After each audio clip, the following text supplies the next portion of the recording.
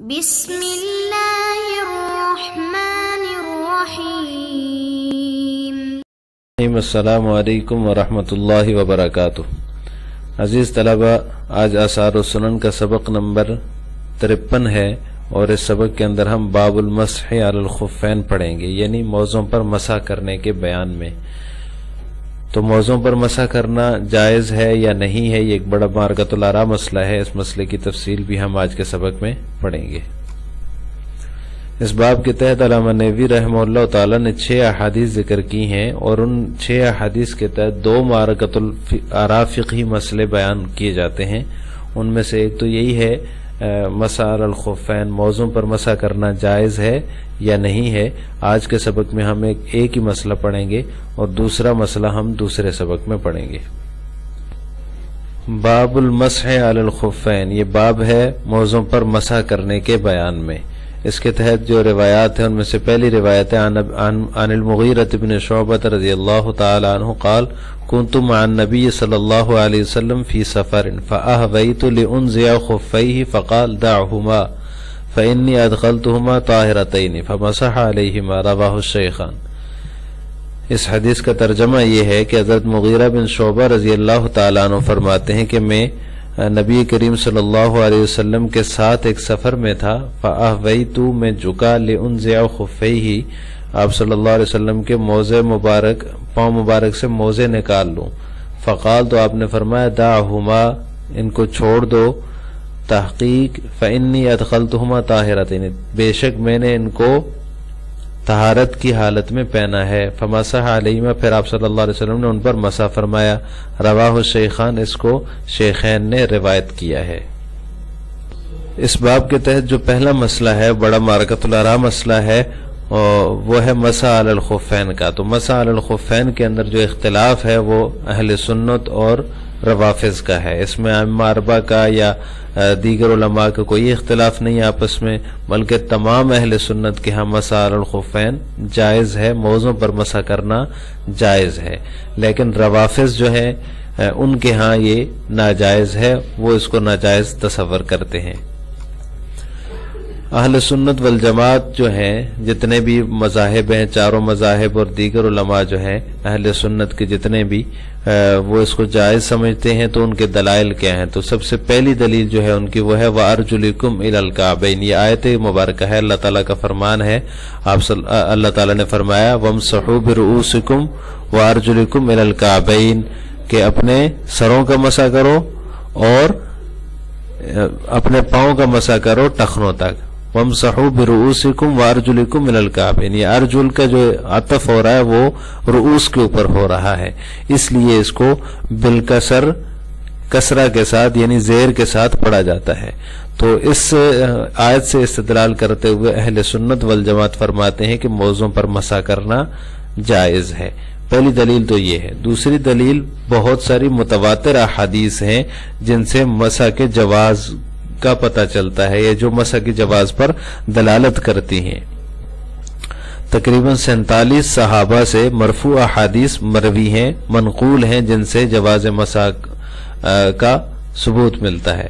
تو مسا کے جائز ہونے پر سینتالیس صحابہ کرام سے تقریباً مرفوع احادیث مروی ہیں۔ منقول ہیں۔ تو نمبر تین یہ دلیل ہے۔ وہ جتنی بھی احادیث ہیں ان سے استدلال کر کے اہل سنت والجماعت مسا کے جواز کے قائل ہیں۔ نمبر چار، حضرت حسن بصری رحمہ اللہ تعالی جو ہیں، وہ فرماتے ہیں کہ مجھ سے تقریباً ستر صحابہ نے مسا الخفین کا جواز بیان کیا ہے۔ یعنی مجھ سے تقریباً ستر کے قریب صحابہ ہیں۔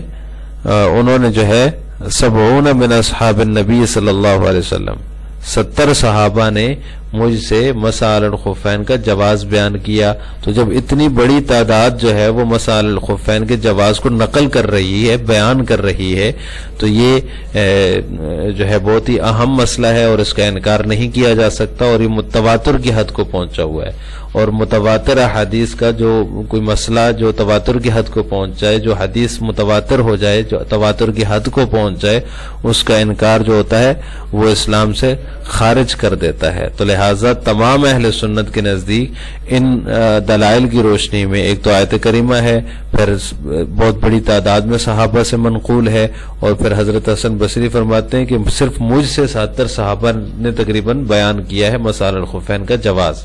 موضوع پر مسے کا جواز جو ہے، ستر صحابہ نے تو صرف حضرت حسن بصری سے بیان کیا ہے۔ تو جب اتنی بڑی تعداد میں صحابہ اس کو نقل کر رہے ہیں، تو اس کا مطلب یہ ہے کہ یہ جائز ہے اور ثابت شدہ ہے اور اس کا انکار کرنا چونکہ یہ حد تواتر کو پہنچا ہوا ہے، تو اس سے اسلام سے بندہ خارج ہو جاتا ہے۔ اسی لیے امام ابو حنیفہ اور امام کرخی رحمہ اللہ فرماتے ہیں آخاف القفر علی ملم یار المسح الخفین یہ جس طرح حضرت امام ابو حنیفہ رحمہ اللہ کا قول ہے، اس طرح امام کرخی کا بھی قول ہے۔ وہ فرماتے ہیں کہ مجھے خوف آتا ہے، مجھے کفر کا اندیشہ ہے اس شخص پر جو مسار الخفین کو جائز نہیں سمجھتا۔ چونکہ ایک تواتر کی حد کو پہنچا ہوئے اس لیے انہوں نے فرمایا کہ کفر کا اندیشہ ہے۔ اس شخص پر جو ملم ملم یار المسح الخفین، جو مسح الخفین کو جائز نہیں سمجھتا۔ تو کتنی بڑی بات ہے، اگر کوئی مسح الخفین کا انکار کرے یا موضوع پر مسح کرنے کا انکار کرے کہ یہ جائز ہی نہیں بالکل یہ انکار کر دے۔ تو اگر وہ یہ ارادہ وہ عقیدہ رکھتا ہے، صرف اس نے ارادتاً اپنے ارادے سے اپنے عقیدہ عقیدہ سمجھ کر کے اس کا انکار کیا تو وہ اسلام سے خارج ہو جائے گا، کیونکہ تواتر کا وہ انکار کر رہا ہے۔ اب اشکال یہ ہوتا ہے کہ ابن عباس، ابو حریرہ اور حضرت عائشہ رضی اللہ تعالی عنہ مجمعین جو ہیں، ان سے بھی تو انکار منقول ہے۔ روافظ کہتے ہیں کہ ان سے انکار منقول ہے۔ انہوں نے جو ہے وہ انکار کیا ہے مسال الخفین کا کہ مسا جو ہے جائز نہیں ہے موضوع کے اوپر۔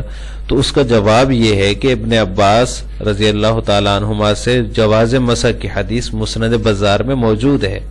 جیسے ان سے انکار مسار اور خفین کی حدیث منقول ہے، تو جواز کی بھی منقول ہے ان سے جو کہ مسند بازار میں ہے۔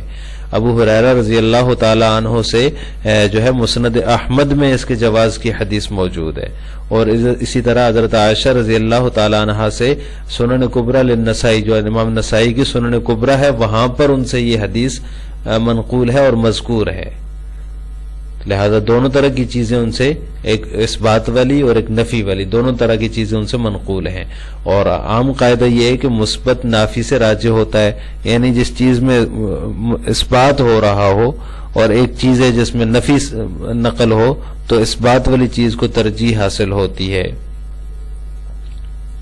تو اس لیے اب ان حضرات صحابہ سے جو جواز مسح کی احادیث ہیں، وہ اس بات والی ہیں، تو لہٰذا یہ راجے ہوں گی اور ہم یہ سمجھیں گے کہ ان سے بھی وہ بھی مسار الخفین کے جواز کے قائل تھے۔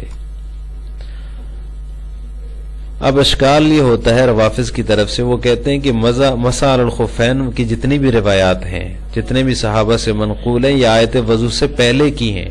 یعنی جو وضو کی آیت ہے جس میں وم صحب روسکم وارجلکم من القابین ہے، جس سے اہل سنت والجماعت استدلال کر کے کہتے ہیں کہ یہ مسا جائز ہے علی الخفین۔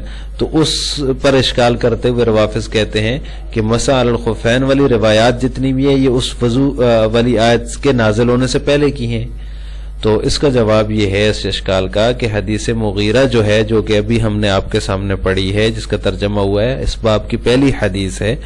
یہ جو ہے، یہ غزوہ تبوک کا واقعہ اس میں بیان ہو رہا ہے۔ یہ جو سفر کا انہوں نے بیان کیا کون تم نبی صلی اللہ علیہ وسلم فی سفر میں آپ صلی اللہ علیہ وسلم کے ساتھ ایک سفر میں تھا۔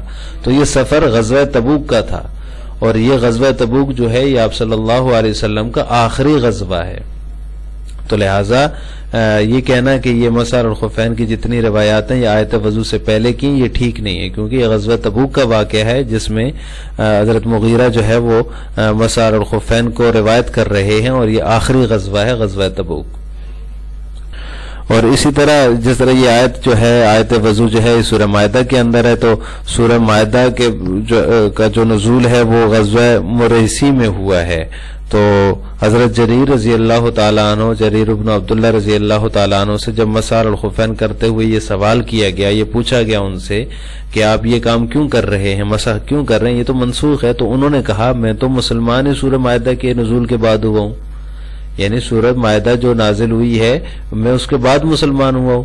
تو سورہ معاہدہ سے جس میں یہ آیت وضو موجود ہے، اس اس آیت سے مسار الخفین کی روایات کو منسوخ ماننا یہ غلط ہے۔ تو لہٰذا حضرت جریر ابن عبداللہ رضی اللہ تعالیٰ عنہ کا جو عمل تھا، وہ تھا ہی سورہ معاہدہ کے نزول کے بعد ہے۔ تو اس صورت سے سورہ معاہدہ سے منسوخ ماننا مسار الخفین کو یہ غلط ہے، صحیح نہیں ہے۔ اور حضرت جریر رضی اللہ تعالیٰ عنہ جو تھے، انہوں نے آپ صلی اللہ علیہ وسلم کی وفات سے صرف چھ مہینے پہلے اسلام قبول کیا ہے۔ تو وہ آپ صلی اللہ علیہ وسلم کی وفات سے صرف چھ مہینے پہلے اسلام لا رہے ہیں اور وہ مسار الخفین کو روایت کر رہے ہیں۔ اور خود ان کا عمل ہے کہ مسار الخفین کرتے ہوئے جب ان سے پوچھا گیا تو انہوں نے یہ جواب دیا کہ میں تو سورہ معاہدہ کے نزول کے بعد ہی مسلمان ہوا ہوں۔ تو سورہ معاہدہ کی وجہ سے اس کو منسوخ ماننا کیسے صحیح ہو سکتا ہے؟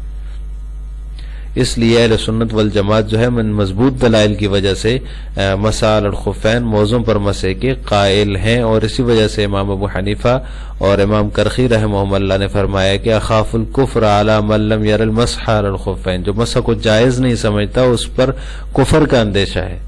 تو چونکہ اتنے مضبوط دلائل ہیں جو حد تباتر کو پہنچے ہوئے ہیں، اس وجہ سے مسار الخفین جائز ہے۔ آج کے سبق کا خلاصہ یہ ہوا کہ ہم نے باب المسح علی الخفین کے تحت جو مذکور ایک حدیث ہے، سب سے پہلی حدیث، باقی حدیث کا ترجمہ و تشریح دوسرے سبق میں ہوگا۔ تو آج کے سبق میں ہم نے صرف پہلی حدیث پڑھی ہے اور اس سے جو مستمت ہونے والا فقی مسئلہ ہے کہ مسار الخفین جائز ہے یا نہیں۔ اہل سنت والجماعت کے ہاں جائز ہے، جبکہ روافظ کے ہاں جائز نہیں ہے۔ اس کی تفصیل اور وضاحت پڑی ہے آخر میں آپ سے دو سوال ہیں۔ پہلا سوال یہ ہے کہ موزم پر مسئلہ کا جو جواز ہے، وہ کس قسم کی احادیث سے ثابت ہے؟ اس کا جواب آپ نے کمنٹ باکس میں دینا ہے۔ نمبر دو، حضرت جریر رضی اللہ تعالی عنہ کب اسلام لائے؟ اس کا جواب بھی آپ نے کمنٹ باکس میں دینا ہے۔ حضرت جریر ابن عبداللہ رضی اللہ تعالی عنہ، ان کے اسلام لانے کا ذکر آج کے سبق میں ہوا ہے۔ آپ نے سوال کا جواب بھی کمنٹ باکس میں دینا ہے۔ السلام علیکم ورحمۃ اللہ وبرکاتہ۔